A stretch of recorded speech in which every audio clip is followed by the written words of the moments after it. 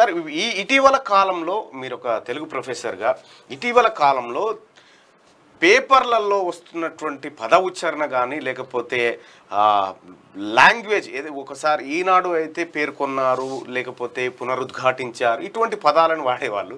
So ఇప్పుడు మాధ్యమాల్లో వస్తున్నటువంటి ఈ అక్షర మార్పులు ఏవైతే ఉన్నాయో పద పదాలు వాటిని ఎట్లా చూడొచ్చు సార్? నిజానికి జర్నలిజం నేను జర్నలిజం చదువుకున్న వాడిగా తెలుగు ప్రొఫెసర్గా జర్నలిజంలో చాలా మార్పులు వచ్చాయి. కందుకూరి వీరేశలింగం పద్దెనిమిది వందల డెబ్బై ఆ కాలంలో పెట్టిన పత్రికలో వాడిన భాష. పంతొమ్మిది వందల ముప్పై నలభైల నాటికి గోల్కొండ పత్రిక పంతొమ్మిది వందల ఇరవై ఐదులో పెట్టిన నాటికి భాషకి విలువలకి ఈనాటి పత్రికల విలువలకి సామాజిక మాధ్యమాలు లేదా టీవీలు వీటిల్లో చాలా మార్పు వచ్చింది. అయితే ఈ మార్పు రావడానికి ప్రజల్లో వచ్చిన మార్పు సమాజంలో వచ్చిన మార్పు ఒక కారణమైతే రాజకీయ వ్యవస్థలో రాజకీయ వ్యవస్థ బాగా ప్రభావితం చేస్తుంది మొత్తం అందరిని.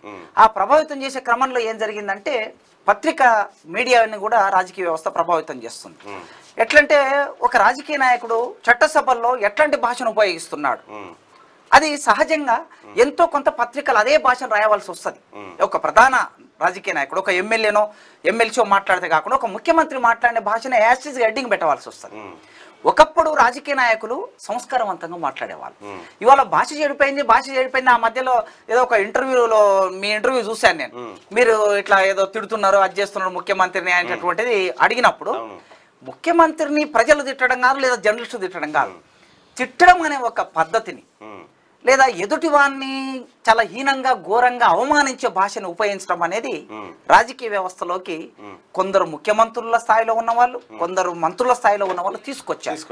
ఫలితంగా ఏమైపోయిందంటే ఆ లాంగ్వేజ్ అనివార్యంగా పత్రికలోకి ప్రవేశించింది. ఇది ఒకటైతే ఇక రెండో అంశం జర్నలిస్టులు ఎక్కడి నుంచి వస్తారు సమాజం నుంచే వస్తారు. ఈ సమాజం నుంచి వచ్చేటటువంటి జర్నలిస్టులు పూర్వకాలంలో కాస్త భాషను చదువుకొని సాహిత్యం చదువుకొని వచ్చే వాళ్ళు ఉండేవాళ్ళు. ఇప్పుడేమో కింది వర్గాల నుంచి పూర్వకాలంలో ఎట్లా ఉండేది? ఒక ముప్పై నలభై ఏళ్ళ కిందట జర్నలిస్టులు అంటే అందరూ బ్రాహ్మణ వర్గం ఆ పై వర్గాల నుంచి వచ్చే వాళ్ళు ఉండేవాళ్ళు ఇప్పుడు ఎస్సీ ఎస్టీ బీసీల నుంచి చాలా మంది జర్నలిస్టులు వస్తూ ఉన్నారు. చదువుకొని కసితో సమాజానికి సేవ చేయాలని. వచ్చినప్పుడు చాలా సహజంగా వాళ్ళ జీవితం నుంచి వచ్చే భాష కూడా ఉంటుంది. సో ఇవన్నీ పత్రిక భాషలో మార్పు రావడానికి కారణమయ్యాయి. అయితే విలువలకు సంబంధించి కూడా ఇప్పుడు మీరు ఇక్కడ ఇది పెట్టారు.